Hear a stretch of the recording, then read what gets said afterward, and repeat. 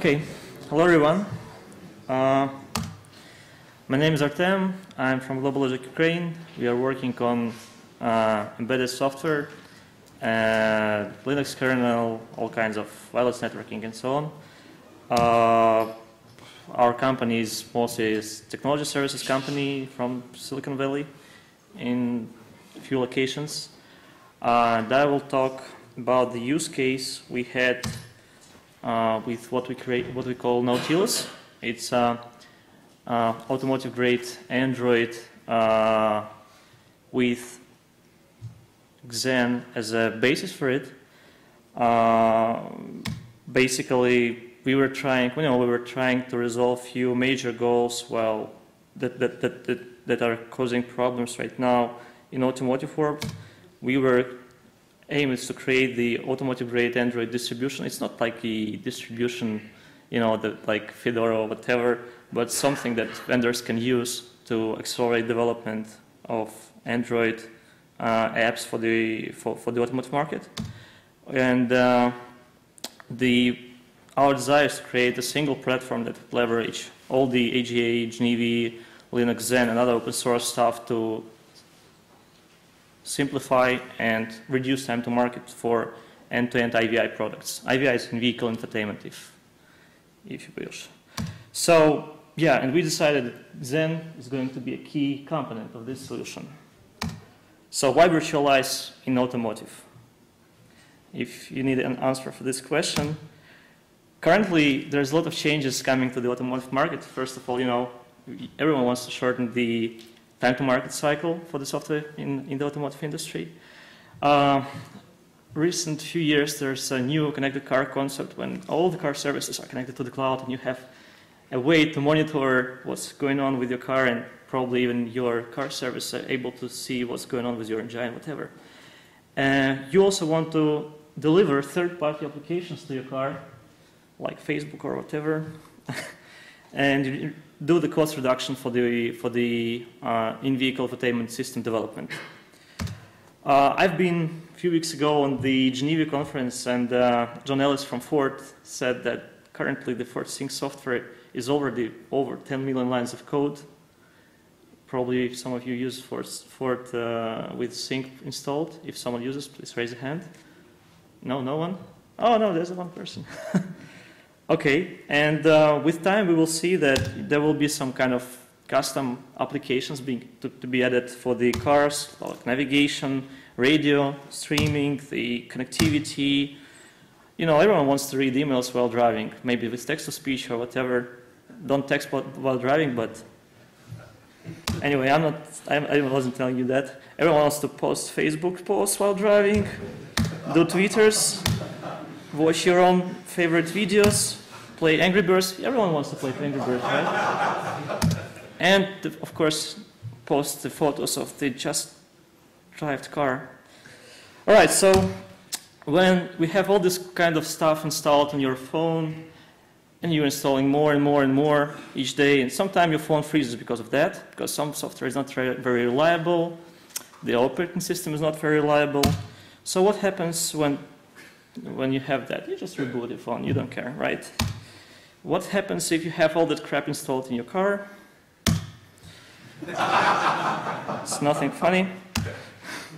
So we decided to think of what's critical and what's not critical, right? So yeah, vehicle software, we called it critical stuff, right? Uh, usually vehicle software is powered by the QNX or some AUTOSAR OS, or maybe automotive Linux. No, no, no, no, no. Not now. And it is responsible for mission critical stuff like CAN or MOST or some LIN bus or climate control, vehicle services, diagnostic, brakes, whatever you can think, maybe driver assistance in future, right? And also there's an infotainment software which is not very hmm, mission critical say. It can be powered by Windows like FordSync or Android in future probably. Uh, it, it handles the user interface, text-to-speech, speech recognition, whatever else phone connection, wireless hotspot, navigation, cloud applications, multimedia, everything which is not, as I said, mission critical in your car. If it breaks, you will not hit the tree, right? So yeah, that's kind of why we wanna, why we decided to go with virtualization. Now, a few words about virtualization ARM. We had a very nice presentation by uh, Samsung, and I think there's no no doubt that it's possible and it's doable. That's the slide from the ARM presentation. I just copied it to remind you what we have in the architecture. I use it because, you know, in future I will, in, in the future slides I will uh, refer to that. So we have, we have the, uh, we have the hypervisor uh, level, the privileged, the, between the trust zone and the supervisor mode. And there is a secure state which is not supported, by the way, by the hypervisor, so you cannot do the hypervisor secure stuff. You just need to do calls. If you remember, uh, just remember about this structure if you, you know, in future I will reference it. So why Xen, actually? There is a lot of hypervisor out there. We were thinking about the KVM, about the Green Hills, Integrity, so on. So Xen is type 1 hypervisor. We decided it's very important to keep the hardware, you know, the hypervisor level as thin as possible, and Xen is a way to do this. Uh, it has flexible virtualization modes. We use only HVM, but you know there is a PVHVM and so on, which is very useful for us. Uh, it allows driver disaggregation. It has ARM support, which is nice, and it's open source. So it means that we were able to start working with it from the zero without waiting all this legal stuff passed through years and years and years. So why we decided to go with OMAP 5? We decided to go with OMAP 5. Uh, well, it's dual Cortex A15 SoC, like Exynos. Uh, it has very good interfaces and peripherals, uh, mobile world capabilities. Yeah, there's a ready-to-use solution from mobile for automotive, like J6 is actually automotive CPU and OMAP5 was a mobile CPU. And GlobalLogic is a TI Platinum partner, so we have access to all the sources, which is also nice. So what we did. Uh, key principles. Uh, we decided to go with dual domain, like Android is a DOM-U and Linux is a DOM-0.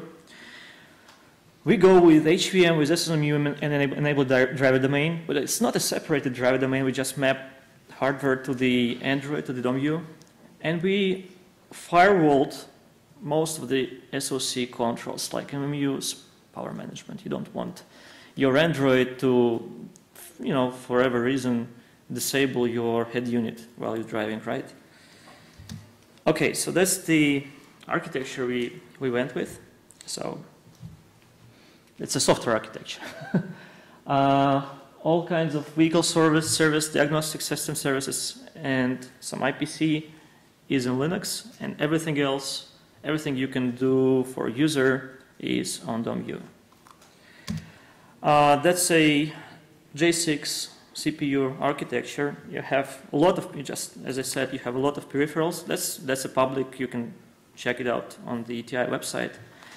Um, we decided that M4 cores, not, not A15, will run software accelerators like boot animation, camera, AV codecs, etc. Uh, most interfaces like UART, I2C has to be DMA'd through SMMU. It's very important. You don't, we, we decided we don't want to do the uh, virtualized drivers. We want to map the hardware to the DOM-U. And to keep it safe, you need to have the system MMU implemented. Unfortunately, it's not there with Xen, but it will be there for hopefully in 4.4. So we did our own hacks for that. Uh, PCI Express is also accessible through SMMU.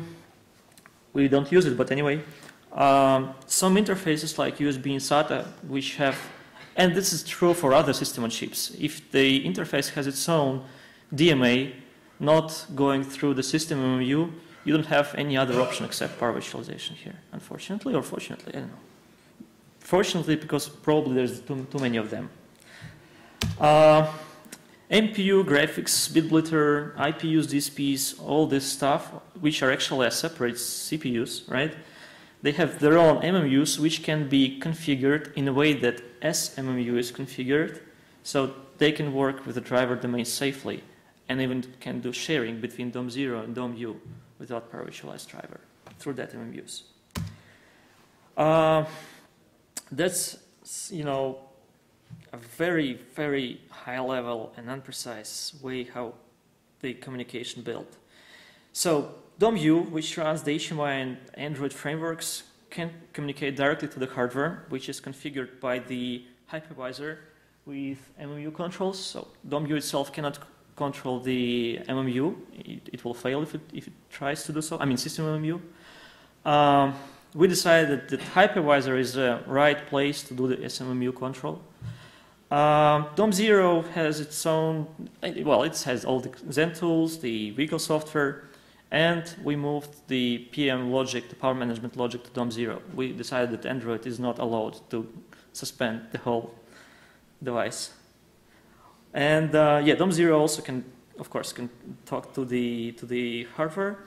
And all the, well, accesses to the hardware, which is a mission critical like CAN, is going through the trust zone. So there's a SMP soft, SMC, SMC software that calls uh, the checks and firewalls these calls.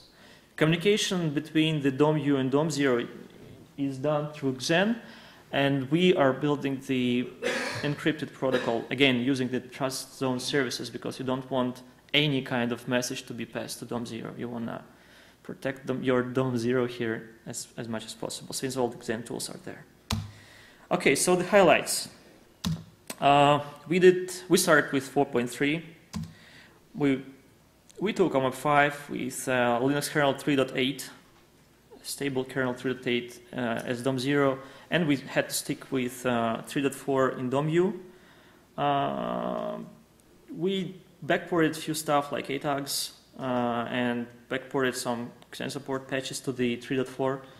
Unfortunately, it's not, it's not uh, you know, a lot of development was done after 3.4, especially on 3.8 eight, uh, seven, uh, eight, and and later kernels. Uh, we have decided that we don't want to do, go with virtualization. We wanted to make peripherals to be directly accessed, accessed by DOM-U through memory mapping, which is completely insecure.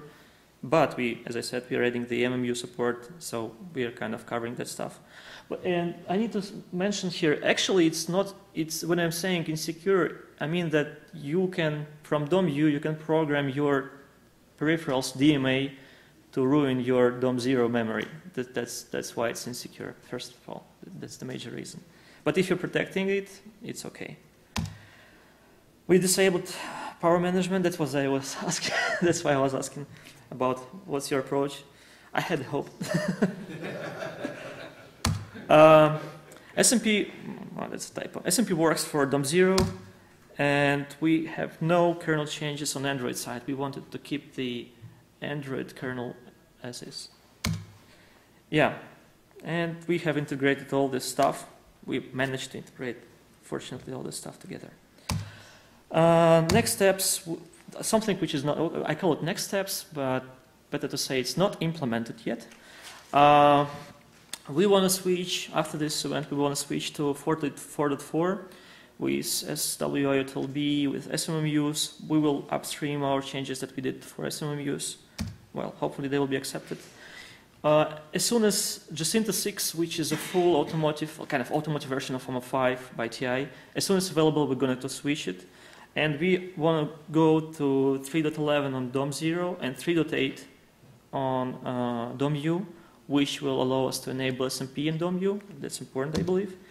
Uh, we virtualize OMAP runtime power management. We were thinking of moving some stuff to the hypervisor, but you don't want to move a lot of stuff to the hypervisor, right? So that's very questionable right now. We are going to drop the virtual memory from DOM, for DOM-U. Uh, so everything that is not, we, we cannot protect with system MMU, we're going to virtualize. Well, USB and block devices, they, you already have the drivers there, you just need to integrate that. And uh, continue with MMUs and SMC because we believe that it, it might happen that uh, we will need to have some minimal support of SMC configuration in Xen with Trust Zone. Okay, open issues. So how to make power management, thermal management. I believe there's a lot of talks on LinuxCon about the power. Always, every meeting probably since five years already or 10 years. So it's a big issue in kernel and same with all the embedded applications. we want to review the hypervisor and tools code. We want to address the boot time. Uh, that's one of our major goals in automotive. Uh, we want to switch to the hard time scheduler. I had it probably a CDF as I was advised yesterday. Uh, we want to, well, we need to continue testing performance impact on J6. You know, everyone want to get from SOC as much as possible. And upstream, of course. And the big pain is certification. Uh, all the automotive guys has a very complicated and tough process of certification. If Xen as a hypervisor has to run on the hardware, it has to be certified for automotive applications. We don't know how to address that yet, but that's a big, big deal. If we, if you know we do it, then great. Someone told me yesterday that Xen used on some military applications, so it's doable at least. All right, so a few words about our case study. What we what we treat as a product, or not not a product, but a solution here, right? So we want to first of all the boot timeline. It's very important for us. Uh, uh, we want to have user interface up and running in less than seven seconds, and stuff like rear view camera. Right? If you just get into your car, and turn, turn on the ignition, switch on the rear uh, gear, you want to have the camera up and running immediately, not after 7 or 10 or whatever seconds, right? And of course, you want to have the UI up and running in as quickly as possible, not like your smartphone when it boots up. Uh, half minute, minute, or even worse, right?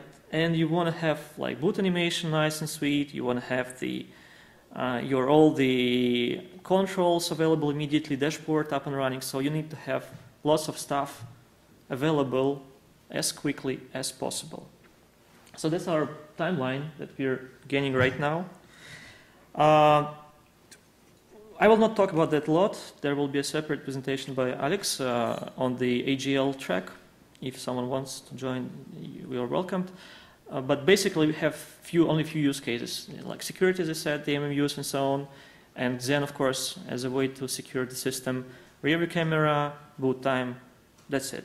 Be concentrated on these three major things as a, on, on, this proof of concept. So that's what we have so far. Uh, so that's OMAP 5 Panda. Uh, ES2.0, we connected the SATA disk and full HD monitor that's the reset. Uh, after the reset, we have seven seconds right now to boot to UI. So that's U-boot, Xen, DOM0, Android. Oh yes, before the U-boot, there's uh, M4 software. You have the Android UI up and running in seven seconds. When you're saying that it's available, it's hardware accelerated, video playback. Someone was asking about video playback. Uh, that's our favorite test movie. I believe that should be a StarCraft demo. No, no, something different. Okay, so uh, we have video playback, full accelerated UI, whatever else you like. Uh, yeah, there's uh, some. Uh, it's not very good video. So it's 4. Point, so Jelly Bean uh, 4.2. We will migrate to 4.3. Android running in VM in DOM-U. Uh, that's the uh, shell to Linux. We are listing the. You see, there's only domain zero and Android, to virtual machines up and running. Uh, that's basically it. I need to have a snapshot, snapshot of the details probably. yeah, another case we were addressing as we, we are destroying the DOM-U. Uh, probably it would be better to crash the kernel and restarting it safely. So right now after the start it starts even faster because you don't need to start all the Linux and uh, Xen and uh, other things. I think after that it starts in, in around five seconds. Let's see.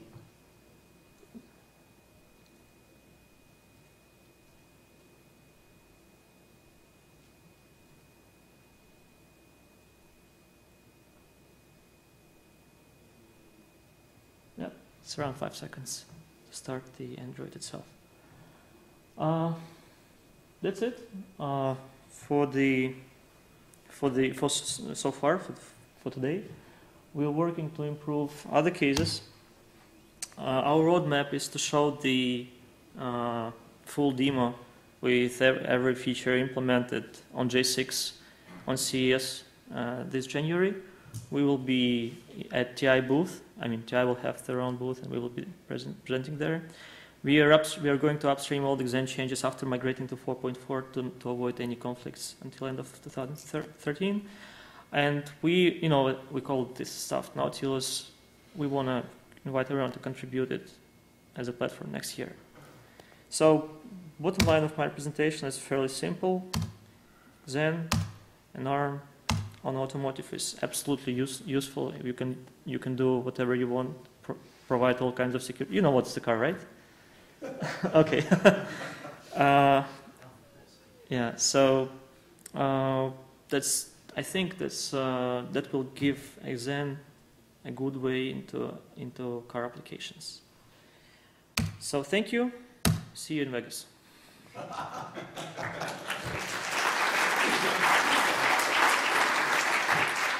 Well, we do also have time for questions, obviously. Yeah, we have five minutes, or ten, including the five. including a break, yes. Um, any questions?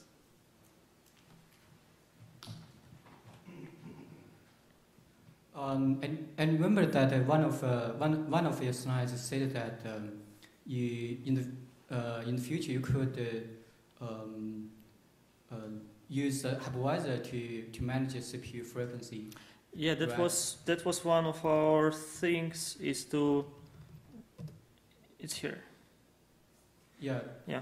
Actually, uh, actually, Android has its own CPU frequency manager uh, called Interactive. That means, uh, for of example, course. yeah, when when the user touch uh, launch the application, it will uh, boost the CPU frequency to get the uh, quicker mm -hmm. response. Yes. So if you um, uh, let, if you uh, just let, uh, let hypervisor to manage the frequency, that means you have disabled the interactive governor from the Android. Yeah. So that means that you could get you, you could get a, a longer response time in the user launch that application. Yes, definitely, and this is a big deal to understand what would be the right way to you know to manage all the voltages in CPUs for the power management. Yeah. Probably it's not that important for automotive where you have a more limited set of use cases. You don't care about, you know, maintaining your battery life. You know, you have the your car turned on, or you have a battery like in Tesla. Huh? You can power up the, your smartphone device for probably a few years. So uh, in automotive, that's not a big deal, but we, we definitely work on this, and that's why this is kind of question mark.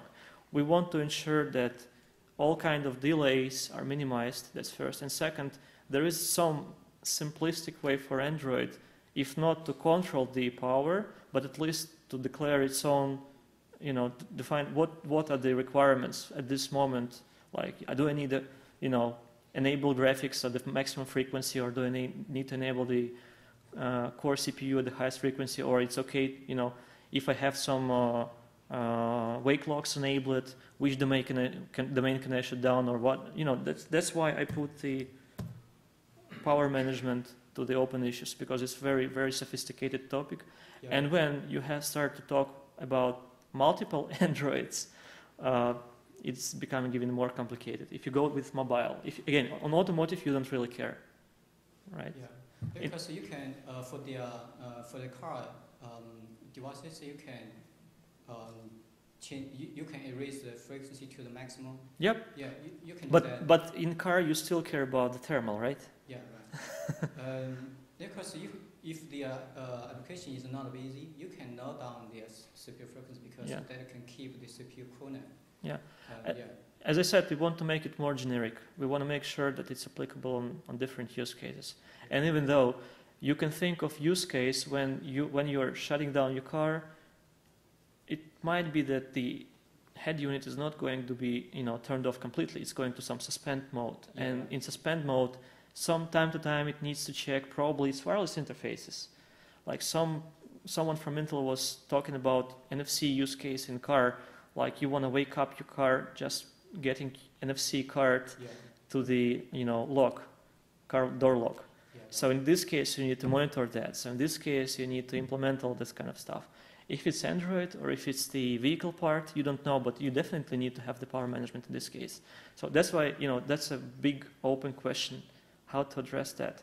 And I don't think that there is a good solution exists out there for the embedded and virtualization. Yeah, you're right. That is a still challenge. Yes, Yeah, thank yes. you. Thank you. It's a good question. I'll do Sorry. Um, have you done any metrics on power and thermal consumption with and without Xen, and just to see what they're like? Because there are rumours that A15s can run hot. Yes, that's true. A15s can run very hot. Uh, we uh, we were you see it's Panda, no cooler or big fan. so we decided since we are disabling DPM and we wanna we don't want Android to mon- to manage DPM, we have fixed the frequency at one gigahertz out of 1.5 available. You know when you are the more you increase, the more power consumption. So at one gigahertz, we don't have any issues with the you know, overheating and so on, at least on Panda 5, right? Uh, I think uh, it, it will be the same for Exynos. It's the same technology process. It should not be a big problem. So, and when we resolve the power management issues, we can, you know, increase the frequency to 1.5, 1.7 giga, which will decrease our boot time, and it's very important for us, right? We, we want to take it as quick as possible but we are not there with a you know with a strategy how to manage the frequency and power and voltages. So for now, it's fixed on one giga. We don't have any issues, any thermal issues.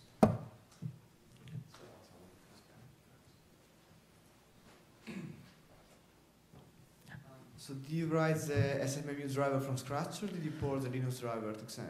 We were using some of the patches published on the tree and doing as much modifications as we could to make sure it's running.